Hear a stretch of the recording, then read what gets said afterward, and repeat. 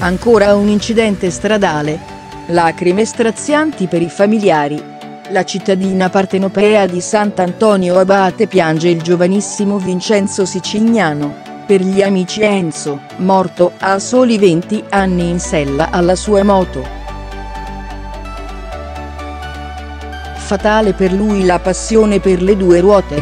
E come per uno scherzo del destino, ha lasciato la vita terrena mentre sfrecciava a gas aperto, come accaduto al suo grande idolo di sempre. Marco Simoncelli. Sì, perché come testimoniato dai profili social del giovane Enzo Sicignano, la passione per i motori, era nata proprio grazie al compianto Siki, motociclista italiano il 23 ottobre 2011. Ma Enzo Sicignano ha provato in tutti i modi a restare in vita. Per una settimana, ha lottato con tutte le sue forze, ma nella sua partita più importante non ha avuto la meglio. Ieri sera, il ventenne vittima di un incidente stradale avvenuto il 25 luglio nelle vicinanze di Santa Maria la Carità, ha emesso l'ultimo respiro. Il giovane, originario di Sant'Antonio Abate, era a bordo della sua Vespa quando si è scontrato con un'automobile. Immediato il ricovero al San Leonardo di Castellamare, dove Enzo è stato operato d'urgenza. Gli amici di Enzo raccontano di un ragazzo d'oro. Un vero angelo. Te ne sei andato via troppo presto, scrive un'amica sulla bacheca del giovane. E ancora. Tragico destino, se ne vanno via sempre i migliori. Mi mancherai. Un susseguirsi di messaggi tristi per aver perso una persona davvero unica.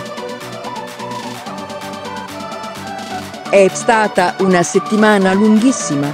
Tutti in attesa di un esito positivo da quel lettino di ospedale.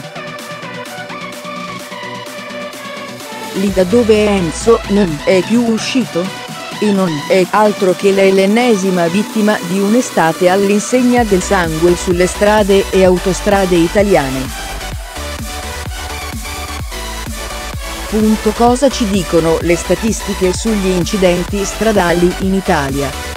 Proprio i motociclisti sono quelli maggiormente subiscono più incidenti mortali alla guida, da soli costituiscono il 23% delle morti complessive in seguito a sinistro, seguiti a strettissimo giro dai pedoni, 22%. Le cause sono tra le più disparate sebbene ad avere la meglio, spesso e volentieri, è la distrazione. Non bisogna trascurare il mancato rispetto delle norme basilari, come lo stop o il semaforo rosso, la velocità, l'uso dello smartphone alla guida, l'abuso di alcol e stupefacenti. Punto e come ogni anno, del resto, è il periodo estivo a fare incetta incidenti mortali.